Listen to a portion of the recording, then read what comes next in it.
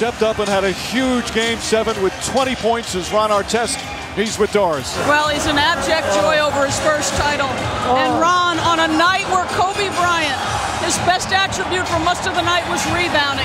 What kind of satisfaction do you and Cal take that you were able to support him tonight? Well, first of all, I want to thank everybody in my hood. Thank the Worldwide Warriors, Rockfell, my, my wife, Kimsha, my family, my kids, everybody. I definitely want to thank my doctor, Dr. Santhi, my, um, my psychiatrist. She really helped me relax a lot. Thank you so much. It's so difficult to play. All this, there's so much commotion going on in the playoffs, and she helped me relax. I thank you so much. Ron, you were able I'm to hit. down that three. Yes, just that you was a me. huge shot. Your late Thank you. three. Yes, no question. Oh, Ron, again. and my single coming out now. Talk to me. I got a single. It's called Champion. I did a song called Champion last. I'm gonna let him go, guys. And the single is coming out. I'm sorry. Thank you so much.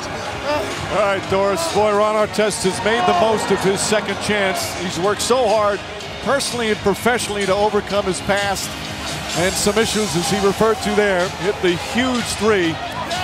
He is not the perfect player. He's not the perfect person, but anybody who knows him well will swear by his loyalty and what a big heart he has. And he's come all the way from that Palace brawl in Auburn Hills to NBA championship with the Los Angeles Lakers.